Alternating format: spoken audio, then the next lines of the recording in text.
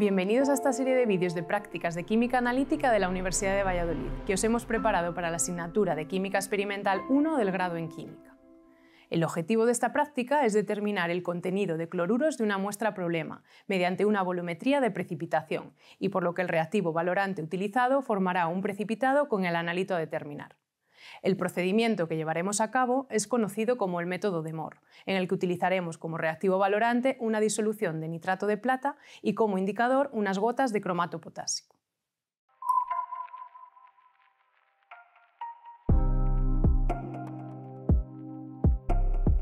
Los materiales y reactivos a utilizar son los siguientes.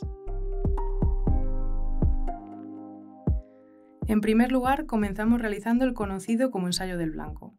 El ensayo del blanco es necesario para determinar el exceso de reactivo valorante que se añade para observarse la reacción indicadora y por lo tanto llegar al punto final.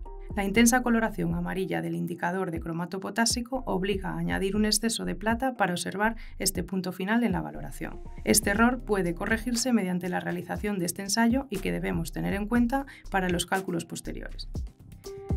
Para ello, una vez rellena la bureta con el reactivo valorante, añadimos un pequeño volumen de agua destilada en el Erlenmeyer, 10 ml de hidrógeno carbonato diluido y una punta de espátula del sólido blanco de carbonato cálcico. Este sólido simulará el precipitado blanco que obtendremos cuando tengamos cloruros en el medio, debido a la formación de cloruro de plata precipitado al ir adicionando el nitrato de plata.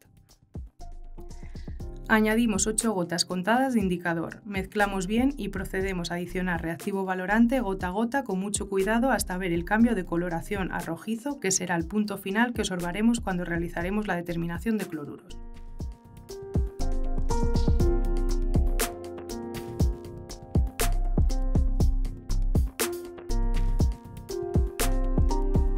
Observar el cambio de coloración del indicador cuando se ha adicionado cromato que está libre como anión de color amarillo y en medio neutro básico y cuando se adiciona la plata que se forma el precipitado rojo anaranjado de cromato de plata.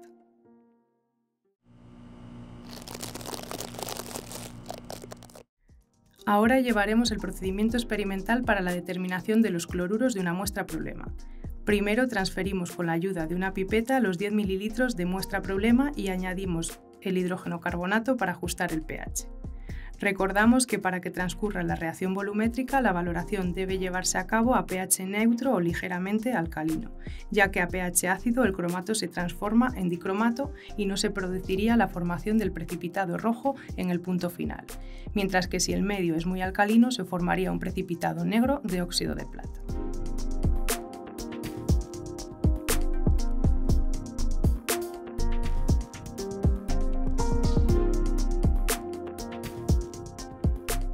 Añadimos las 8 gotas contadas de indicador, agitamos y comenzamos la valoración adicionando reactivo valorante hasta visualizar el cambio de coloración a rojizo permanente, lo que indicará que habremos llegado al punto final.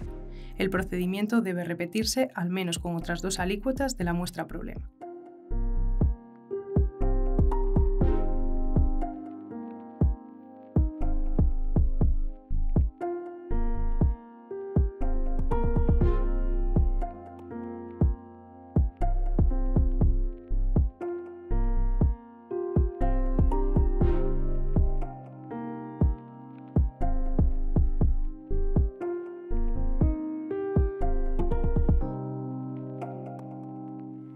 Ahora, finalmente, con el volumen medio de reactivo valorante utilizado para las tres determinaciones y teniendo en cuenta el volumen de reactivo valorante del ensayo del blanco, podremos determinar la concentración de cloruros de la disolución problema.